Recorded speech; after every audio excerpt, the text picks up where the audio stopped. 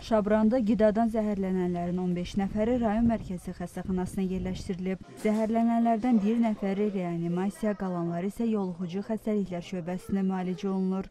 Xəstələrin mədələri yuyulub və müvafiq tibbi yardım göstərilib. Vəziyyəti yüngül olanlar ilkin tibbi müayinədən sonra evə buraxılıblar. Hazırda xəstəxanada müalicəsinə davam etdirən şəxslərin vəziyyətləri stabildir.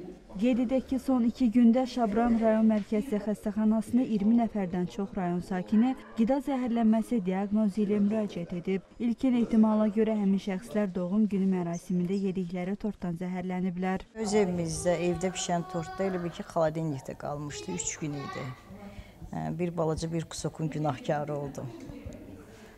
Sonra qarnıma elə bir sancı gəldi. Gəldim bura Allah kömək olsun doktorlar yardım göstərdi. Mədəm yuyuldu. Şükür Allah yaxşıyam indi. Özlərinin dediyinə görə bu qonaqlıqda olan bir iş olub. E, Tort yeyiblər və biz də e, digər qida, qidalar yox, tortun üstünə dayanırıq ki, zəhərlənmə tortdan olub. Bu 30 31 olub bu qonaqlıq, ancaq bunlar ayın 1-də uşaq bizə daxil oldular. Dünən vəziyyət ağır olanlar da var idi. Yardım olunub bunlara Bakıdan toksikoloq çağırılıb Sənaye Silvinası ilə gəlib yardım olunub. Hal-hazırda vəziyyəti ağır olan yoxdur, vəziyyətlər hamısının kafidir. Yəqin ki, bu gün səhər e, evə buraxılacaq ambulator müalicəyə. Faktla bağlı araşdırma aparılır. Xanım Nağıyeva, İlxan Yusifli, Ümid Məmmədov, Azərtac Şabran.